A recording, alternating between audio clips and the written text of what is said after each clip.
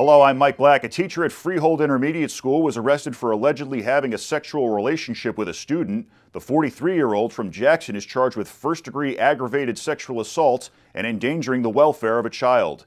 Stockton University received a $650,000 grant from the state so that students in K 12 schools can learn about climate change. The curriculum will be provided for schools in eight counties. Classes will start in the next academic school year.